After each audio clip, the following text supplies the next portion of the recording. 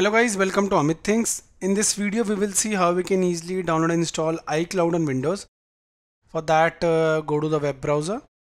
I am using Chrome, you can use any web browser. On Google type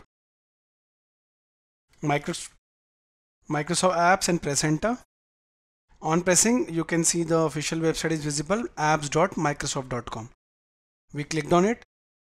Now whatever software you want you can just type here. So or was iCloud press enter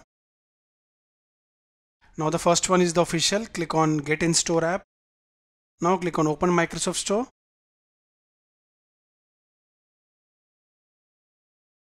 Here it is. You can see by Apple. So I'll just click on get. Now it will download then install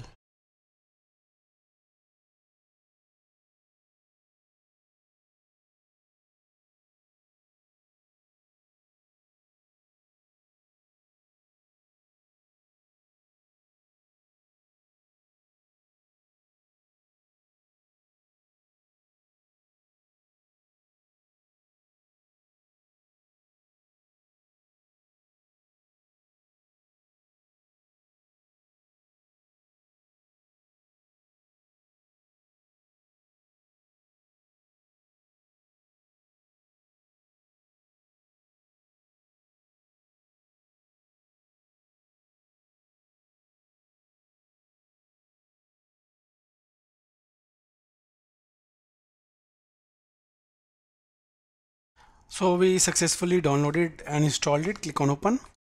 Now iCloud will open.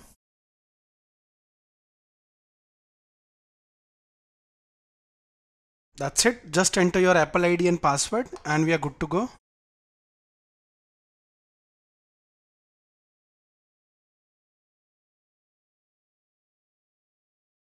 That's it. Just add your Apple ID and password and that's it click on sign in.